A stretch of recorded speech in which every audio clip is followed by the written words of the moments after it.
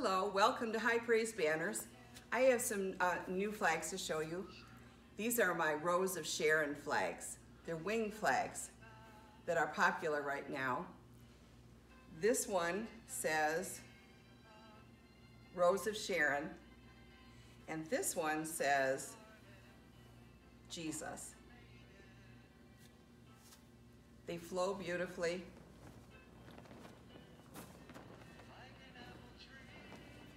I was inspired to do these flags.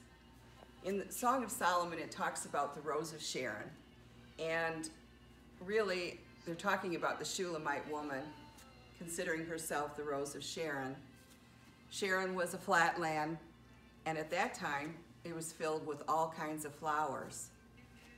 Well, the rose, why is it then that people call Jesus the Rose of Sharon? And I, what comes to my mind is the rose is the most beautiful of all the flowers.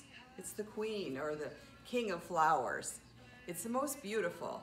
Jesus is the pinnacle of beauty, full of splendor, radiant, and glorious. No one surpasses him in beauty. The rose is also used for medicinal qualities. It, uh, every part of the rose.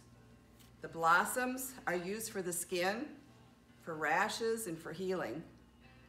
The rose hips are used for the immune system, to boost the immune system and fight viruses and bacteria. They even use the stems and the root for healing qualities. So that brings to mind that Jesus is our healer. He's the great physician. He came to seek and save the lost, and for this purpose was he made manifest, to destroy the works of the devil that bring sickness and disease to this earth.